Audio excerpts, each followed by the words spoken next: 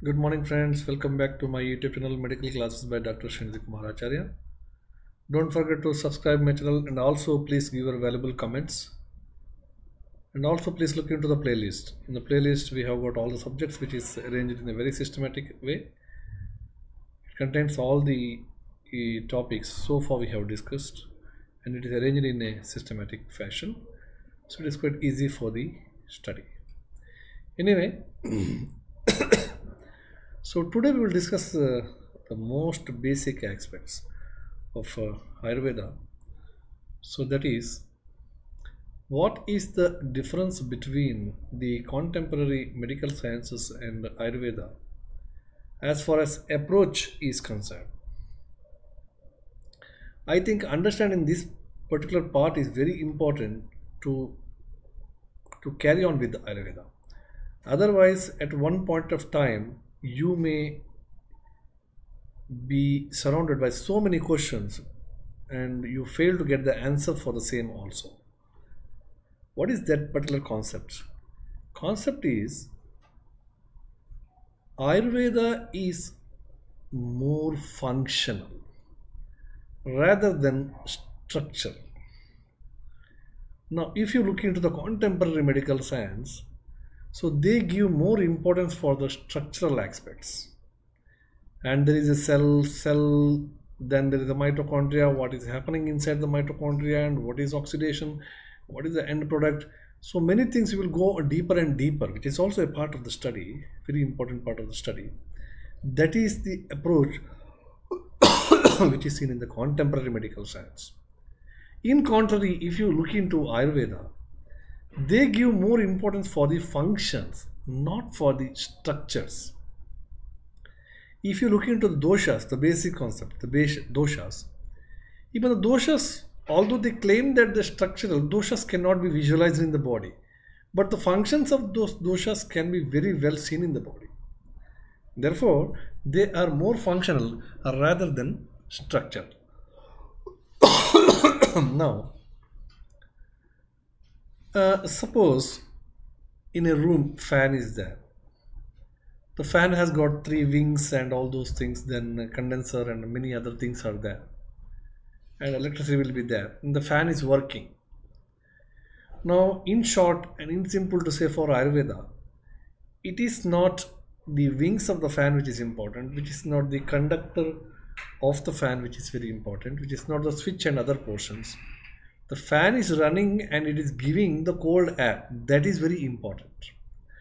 So ayurveda is always concerned with this particular fact that the functions are given or not. So we assess everything through the functions.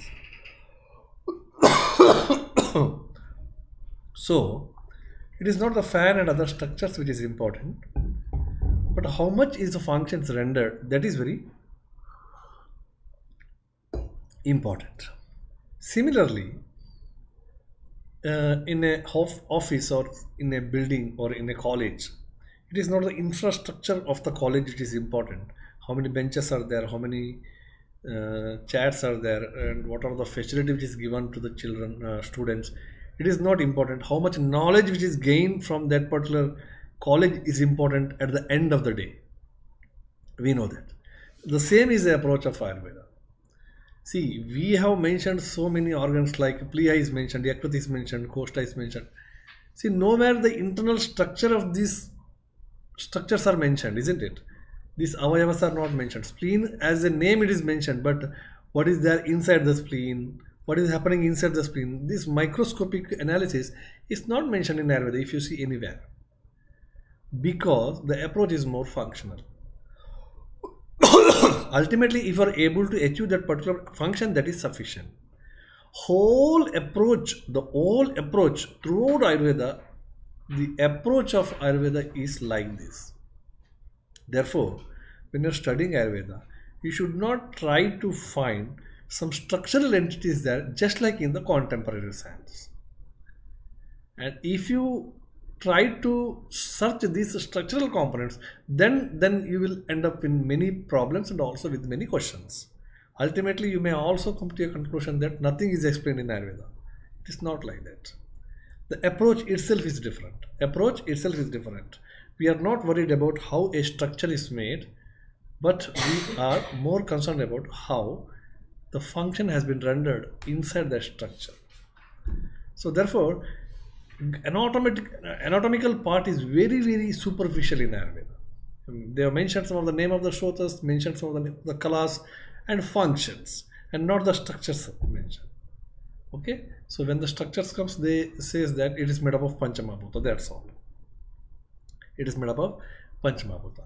So this is one of the basic difference that we should remember that we are only looking at the functional aspects. Many times people say uh, even doshas are also not visible in Ayurveda. How we can treat? It's not like that because they are told how to assess the doshas functionally.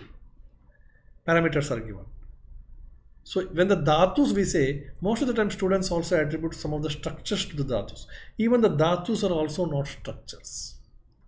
Dhatus are also functional integrity. Functional integrity. For example, if you structurally correlate pranamana shrotas, most of the time we will correlate either with the respiratory system or either with the CNS system. But if you look into the mula of this particular dhatus, pranamana shrotasam hridaya moolam, okay, so then it will not correlate. Similarly, medovaha shrotasam vrika moolam, again structurally if you see it will not get correlate therefore again in the dhatus also it is a functional integrity okay one particular group of the materials a group of items which is present in the body which helps in completion of one particular function.